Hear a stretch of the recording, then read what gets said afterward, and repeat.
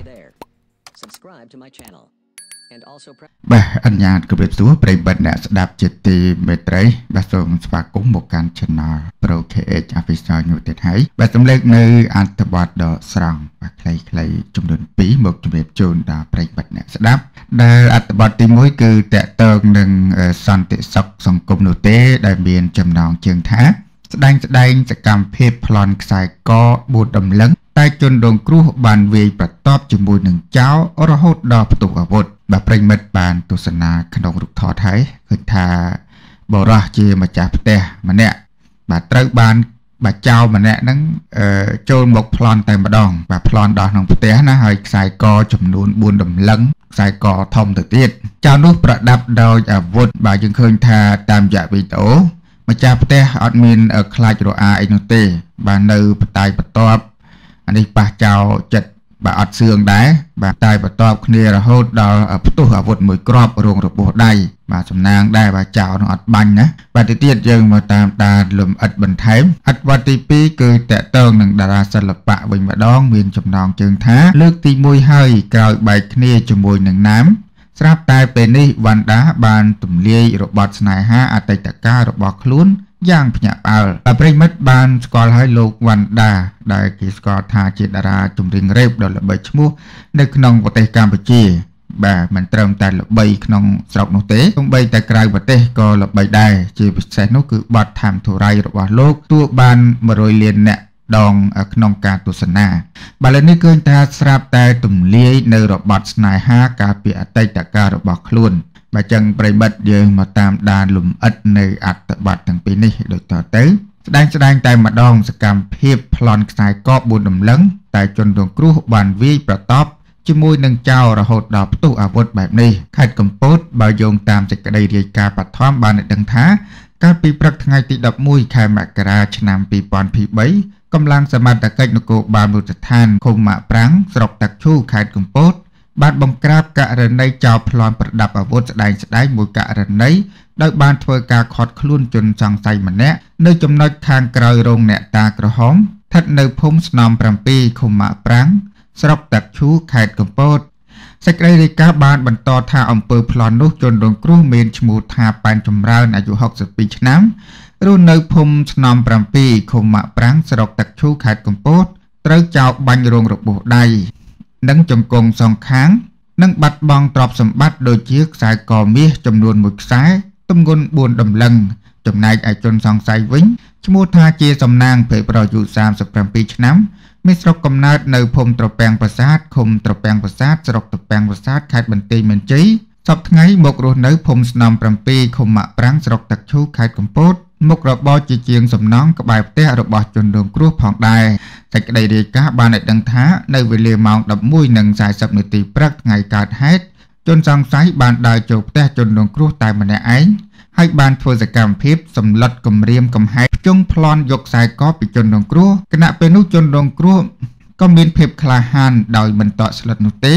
ហើយក៏បានព្យាយាមវាយប្រតាយបន្ទាប់ដណ្ដើមយកកំភ្លើងពីចៅនោះតាំងពីលើចណ្ដើរចូលផ្ទះរហូតដល់គៀនរបង ហើយចៅនោះក៏ចិត្តឆ្លើយដែរក៏ដាច់ខាតមិនឲ្យកំភ្លើងខ្លីរបូតធ្លាក់ដល់ជនរងគ្រោះនោះទេ ដែលសកម្មភាពនោះមានរយៈពេលច្រើនម៉ោងផងដែរប្រពន្ធរដែលបានបន្តថានៅទីបំផុតបរិះចៅនោះក៏បានផ្ទុះអាវុធមួយគ្រាប់បណ្ដាលឲ្យជនរងគ្រោះត្រូវរបួសដៃនិងជង្គង់ទាំងសងខាង តែសំណាងល្អចៅនោះបានជ្រុះបង់កំភ្លើង និងគ្រាប់ចំនួន7គ្រាប់ធ្វើឲ្យកំភ្លើងបាញ់ឡើងចេញហើយចៅក៏បានផ្លោះរបងផ្ទះតាមក្រោយ រួចរត់គេចខ្លួនបាត់តែម្ដង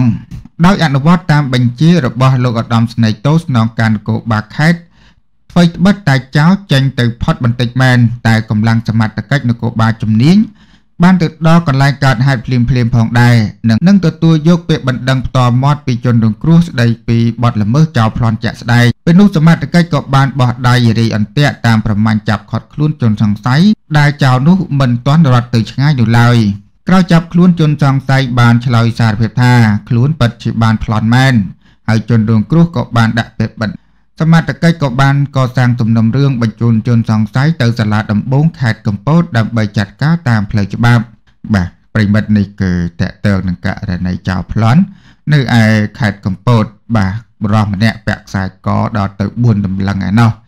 បាទធ្វើការសំណង់នៅក្បែរផ្ទះនោះបាទដំណើរដូចជាឃើញណាឃើញតំណងក៏កើតចិត្តបាទមិនដឹងថាទិញកំភ្លើងឬបាំងកំភ្លើងមកពីណានោះទេក៏យកមកប្លន់ឆៅឆៅតែម្ដង បាទហើយម្ចាស់ផ្ទះនោះបាទ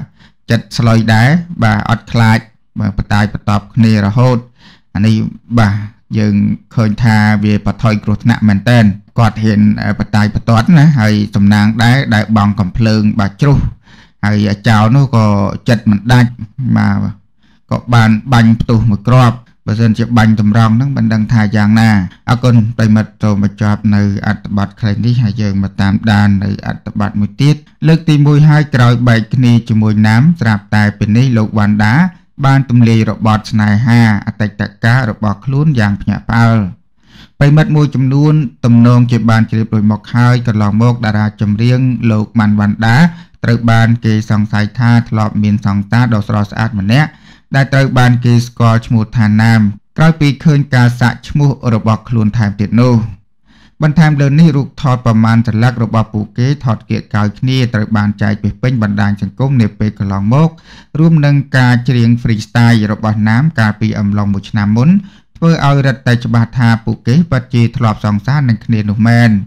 ក្រោយពីលេចលឺពួកគេចែកផ្លូវគ្នាហើយនោះ គេមិនឃើញថាលោកវ៉ាន់ដានិយាយអ្វីពាក់ព័ន្ធនឹងរឿងនោះតតែសោះចំណែកឯគណៈនៃ TikTok របស់ណាម នៅពេលបង្ហោះវីដេអូម្ដងម្ដងតែងតែទទួលបាននូវការគ្រប់គ្រងទទូចឲ្យត្រូវគ្នាជាមួយវ៉ាន់ដាវិញ ទោះកន្លងមកវ៉ាន់ដាមិនបាននិយាយរឿងរ៉ាវស្នេហាអតីតកាលរបស់ខ្លួនក៏ពិតមែនតែពេលនេះតារាចម្រៀងរ៉េបរូបនេះដាច់ចិត្តនិយាយហើយបង្ហោះភ្ជាប់ជាមួយរូបថតជាច្រើនសន្លឹកនៅថ្ងៃទី11ខែមករាឆ្នាំ2023លោកវ៉ាន់ដារៀបរាប់យ៉ាងវែងអន្លាយថា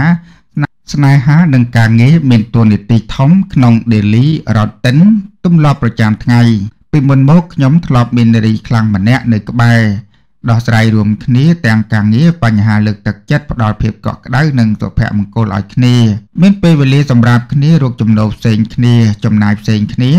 ហើយខ្ញុំអាចធ្វើការងារទាំងនោះបានដោយស្នាមញញឹមទឹកមុខស្រស់បោះមានគំនិតច្នៃប្រឌិត